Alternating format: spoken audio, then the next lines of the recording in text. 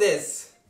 はい。というわけでちょっとね今日は生かした服装なんですけどもキラーン もう一回いきます。キラーンはい。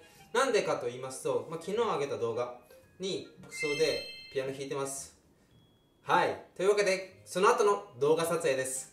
さあ今日は何を説明するかと言いますとお客さん電子楽譜の時代がやってきました。皆さん電子楽譜って知ってますか？僕は今まで紙の楽譜を使ってました。ペラペラペラペラめくるのが大変なんですよ。でねしかも重たくてなかなか持ち運ぶのには不便。てなわけで、えー今回ついに電子楽譜に手を出してみました、えー今回 iPad Pro を使って電子楽譜をちょっと使っていきたいなと思いまっちょでねちょっと比べてみますね。まず電子楽譜の薄さはこの程度です。薄さがこの程度大きさはこの程度です。でこの前香川のストピに行った時に持って行ったのがこれとあともう一つこれですね。はいこの薄さ分かりますか皆さん？これです。この3つを全て詰め込みました。この中に。頭がいいでしょ？大きさは皆さんどうですか？見えますか？はいほとんど同じですよね。イエーイ！皆さんあの朗報です。僕もね結構目が悪くて楽譜がちょっと読みにくいんですけどもこれほとんど同じサイズでできました。今回僕がタブレットで使ったのは iPad Pro の12.9インチだったかな。そのぐらいのサイズです。で前まで使ってたタブレット5年前ぐらいに買ったタブレットなんですけどこちら Expedia のタブレットです。でこれはちょっとねまあ大きい方なんですけどちょっと読みにくいかなと思います。こうやって比べると。読みにくいですよね。なぜ電子楽譜に手を出したのか話していきたいなと思います。きっかけとしましては IMSLP っていう今までサイトがあったんですけどもそれが今回アプリへとなったそうです。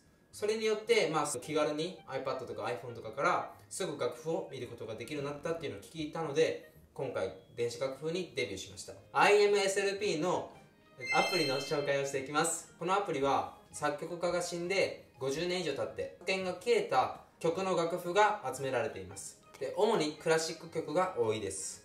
音楽に関する情報をみんなと共有できるようにするためにできたものだそうです。いわゆる音楽業界を盛り上げちゃってください。ということです。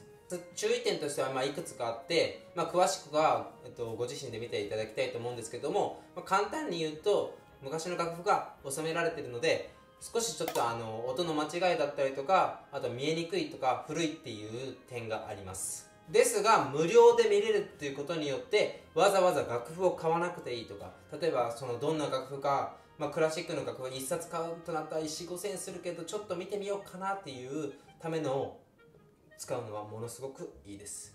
例えばこの楽譜1冊ショパンの楽譜を買おうと思うと2100円します。ですが例えばこれポロネーズなんで英雄ポロネーズの楽譜がちょっと見てみたいってなった時に2100円の楽譜を買わなくても IMSLP で探してあればそれを見ることができます。このアプリを使えばパソコンネットがあればどこでも誰でもつなぐことができすぐ見れます。例えばこういう場合がありますよね。今日ピアノのレッスンややべえ先生のところに着いたのに楽譜忘れた。やべえどうしようってなった時にチャララだったな携帯があればそこでもう楽譜をこっそりダウンロードでき先生にこうやってごまかすことができます。先生最近僕電子化にデビューしたんですよね。って言ったらもう先生はそこで「うわすごい!」って言って先生も言ってくれるのでそういう場合にごまかしが効きます。まあ冗談はさておき。まあね普通にかなり持ち運びだったりネットにつなげればすぐ見れたりっていうかなりまあ便利なものです。この間香川のストリートピアノに行ったんですけど今プチバズり中なんですけどその時に持っていった楽譜がこのぐらいあったんですよ。でこれをねやっぱ持ち運ぶさすがに僕のマッチョでもちょっとねやっぱ面倒くさいと。重たくて面倒くさいしやっぱ結局1冊持っていってもこの1冊丸ごと弾くわけないじゃん。演奏会でさえもこれ1冊丸ごと弾くわけないので必要ないんですよ。だけどコピーするのは面倒くさいですよね。本ごと持って行ってかなり重くてしかも雨が降ってたので少しカバンが濡れて最悪な記憶がありました。ですが電子楽譜を使うと電子楽譜にっていうのはタブレットとか携帯とかを使って見ることができるんですけどこれはいろんなアプリがあって楽譜をスキャンしたり写真とか撮って見やすく楽譜をそのまま見れたりとかいうことができるのであの楽譜がやっぱ持っていきたいなとかアンプするのは怖いなとかそういう時のためにこれはものすごく使います。ピアノの演奏会だったり伴奏だったりあとは譜めくりを呼ぶのがめんどくさい時とかには使います。後でその使い方とかをちょっとね見せていきたいなと思うんですけどもまあ要は楽になるんです。僕はちょっと手出しちゃいました。あとやっぱ家で練習する時でもあの楽譜をわざわざ本棚に取りに行って出してしまってっていうのがめちゃくちゃめんどくさいのでもうタブレット一つで、はい、もうポポイのポイってやりたかったので今回デビューしました。僕まあ皆さん知ってる通りちょこちょこ旅に出たり旅というかまあストリートピアノにさーって行ったりとか、ね、いろんなとこで演奏だったりっていうのが多分これからあるのでまあ、その時のために楽譜を持って行ったりとかあとはレッスンとかする時に楽譜を全部持っていくのはやっぱ大変なので電子楽譜にしました。であと僕はまああの本も結構読むので電子書籍としても使えるのでかなり便利です。あと YouTube も見るのでねかなりタブレットがあると便利です。電子楽譜にするあたりに僕はいろいろカチカチと調べました。でそこからいろんなアプリおすすめのアプリとかどういう風に使ったら便利だよっていうのを僕なりにちょっとまとめてみたのでよかったらこれから紹介するのを使ってみてください、えっと、皆さん多分今まで楽譜持ってると思うんですよ。で先ほど説明した通り iMSLP は気軽に楽譜が見れるだったりダウンロードがすぐできると。だから楽譜を持ってない曲とかをすぐ見ることができるっていう面ではおすすめなんですけど皆さんこういう疑問がありませんか？今まで勉強してたくさん書き込んだ楽譜はどうなるの？先生に教えてもらった箇所マークしたのにどうなるの？大丈夫です。僕が解決いたしましょう。っていうのを AI が解決してくれるんですけどもあの楽譜をスキャンできるんです写真で。で写真でスキャンしてそのまま見ることができます。例えばで僕が結構検索したおすすめのアプリとしてはピアスコア。ピアスコアではこういう風にスキャンできます。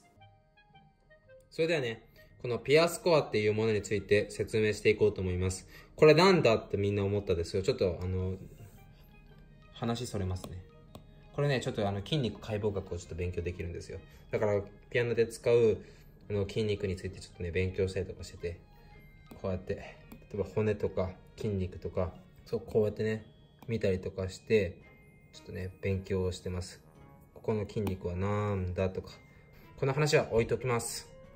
ピアスコアっていうものについてね、ちょっと説明するんですけど、例えば、皆さんが持っている楽譜があると思うんですけども、その楽譜を使っていくんですけど、スキャンします。まあ、スキャンの方法は後で説明するんですけども、スキャンすると、僕はショパンエチュードは全部スキャンしたので、じゃあ小枯らしやってみましょうか。小枯らし。僕全然打ち込まで書いてないので、これですね、ありましたね。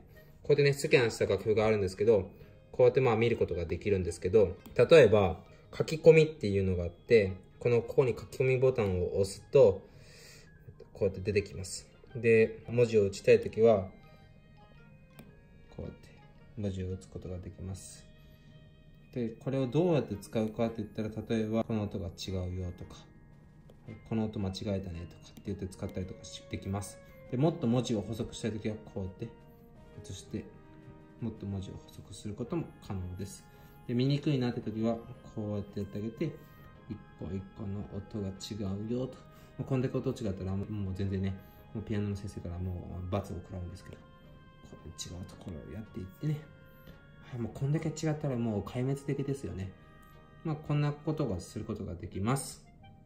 で、例えば、自分の苦手な部分をと書いておきたいっていう時は、例えば赤で、赤にしてね、赤にして、濃さはどのくらいにしようかな、このぐらいにして、じゃあこのぐらい、これにしようかな。で、このここが、ここら辺のパッセージが苦手ですよってなったら、はい。あ、ここ苦手だなーって言って、こここうやって書いておくことができます。はい、ここのメロディー全然聞こえないよってってもうこんな、ここメロディー聞こえなかったらダメですよってって、ここのメロディーラインをつって赤くしたりとか、例えばバッハだったら、対旋律を青く塗ったりとか、こうやってね、こう青くこうやってったりとかすると、いろんなセーブごとに音楽を見ることができるんじゃないですか。例えば、ここの、例えば一番上のソプラノをこうやって、1セーブ目ね。で、次に2セーブ目。はい、次に、はい、3セーブ目。で、この2セーブ目のやつは、ここからこう動いてるんだねとか。4セーブ目は、例えば水色にして、こう動いてるんだねと。はい、こうやって見たら、この4声帯の音でも音楽がこうやって動いてるんだなって分かりやすくすることができますよね。まあ、こんな風に使ったりとかすることもできます。これはかなり便利だと思います。無料ですよ、皆さん。お得ですはい、次。この楽譜をどうやってスキャンしたのかとかの前に、ちょっとね、えっと、皆さんにちょっと話しておきたいものがあって、このフラットとシャープがあるところなんですけど、これここを押していただくと、反応されんあ、出てきた。こうやってね、いろんな文字が出てくるじゃないですか。で、この1っていうのを例えば指番号なんですよ。123456789まあ89とか違うけど、これを指番号でうまく使うことができるので、例えば、みみみみわみどみっていうところに1を持ってきましょうか。いくよ。ポン。1、1、1、1。もうずっと1でね、演奏することができるのでね、まあこれダメですけど、こうやってね、どんどんいろんな指番号を打ち込んだりとかすることができるんです。はい、7の指なんか使うことないですけど、7。とかね、まあ自分で好きなように打ち込んだりとかできるので、丁寧にやりたい方はおすすめです。まあ、僕はね、弾けないとこだけを書いていきます。これも消しゴムを使って全部消すことができるので、消し消し消し消し消しカスも出ないんでね、ちょっとエコですよね。はっきりさっぱり消えました。これは楽譜がスキャンできて書き込んだりとかすることができるよっていう説明でした。おそらく、えこのアプリは iPhone 対応で Android では対応してないっぽいですね。このアプリのいいところとしては先ほど言った通り書き込めるっていうものと、あとはやっぱりオフラインでも使えるってことですね。さらにおすすめとしましては、あの、めくりが簡単だったり、ショパンで例えばまとめたりとかすることができるんですよ。ショピンで検索って打つと、ショパンばっかりがずらーって出てきます。あとは、セットリストっていうものがあって、ショパンエチュードっていう僕はセットを作ったので、ショパンエチュードを打つと、ショパンエチュードが全部並んでます。10の1から25の36の3まで。すべて並んでます。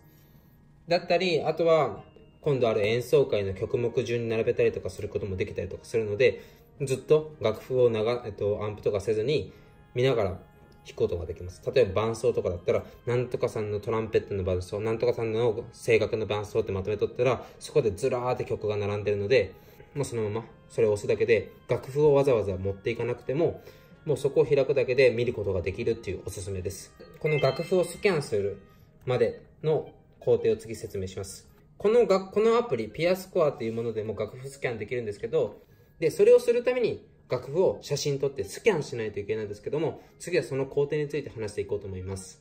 で、そのスキャン自体はこのピアスコアでもできるんですけども、ちょっとね、あまりうまくいかなかったので、違うアプリを使いました。そのアプリがこちら。スキャンナブル。はい。このアプリを使ったんですけど、このアプリちょっとやってみますね。木枯らしをここに出しました。でね、ここのアプリを開いて、カメラの機能になります。だったらこれをこうやって青のやつが、円が一周して写真撮ります。写真撮れました。で、これをこのまま OK だったら、今これあの、待ち中です。スキャンされて、これを美しくするために、アプリが読み込んでます。これに結構時間がかかるんですけども、あっさりサクッといけるときと結構時間かかるときで分かれたりとかするので、なんでだろうって僕はいつも迷ってます。まだですかね。長いですね。ちょっとね、ほんまにこれは長いですね。これでもほんまに早い時はサクッていくのよ。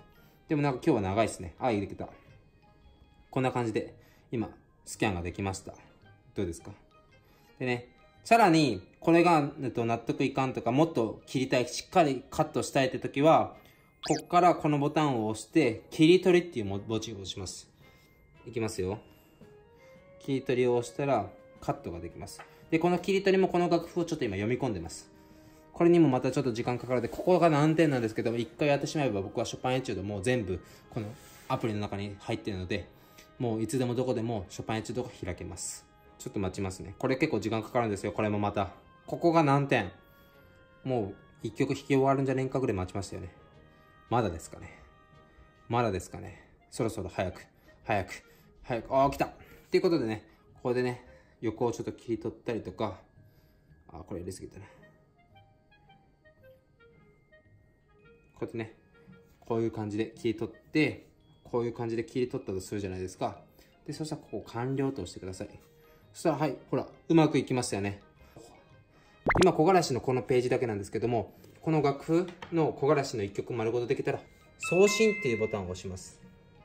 で、共有ってボタンを押して、で、ペアスコアにコピーっていうのを押します。これが出てきます。これができたら、カタログってところの新しい最近のと一番最新のところに登録されてます。で、これを名前変えたりとかして、今までのようにこうやって楽譜を使ったりすることができるってことなので、かなり、まあ使ってみて自分に合ってるかどうかやってみてもらえたらなと思います。まあね、おそらくこれは iPhone でもできるので、とりあえず iPhone でやってみてもいいかもしれませんね。僕はかなりそのこの楽譜気に入ってるので、おすすめです。とりあえず今日はここまでその楽譜をスキャンして使えるようになるまでの段階を説明してみたので、ぜひ皆さん iPad とか iPhone とかでもやってみてください。でね、ちょっと Expedia とかそういうね、グあの Apple 以外の機器についてはちょっと説明できてないんですけど、まあ、あと、これはまたご自身で調べてください。で、今回紹介したアプリは基本無料で全部使えます。そして、企業の提供とかも全くないので、ただ単に僕がおすすめしたアプリです。僕としてはね、これを使ってみてかなり使いやすかったので、まあ皆さんもぜひ使ってみたらなと思います。僕はこの12.9インチ、楽譜とほぼ同じサイズのあのタあのタブレットにしたかったので、プロの iPad12.9 インチにしました。今日はね、こんな感じで動画を終わりたいなと思うので、それでは僕の顔を見て終わりましょう。ここまで見てくれてありがとうございます。で、ブログもちょっとね、あと書いてまだ分かりにくいっていう方に向けてちょっとブログをちゃんと書いてね、見やすくしていこうと思ってるので、ブログの方もチェックしてみてください。ここまで見てくれてありがとう。高評価、グッドよろしくお願いします。それでは、グッバイ。見てくれてありがとうね。よければグッドも押してって。なんならチャンネル登録してね。ボリマッチョ、細マッチョ、マッチョ、マスマスボーイ、マチョマチョ、マチョマチョ、マチョマチョ、マッチョ。マッチョが大好きです。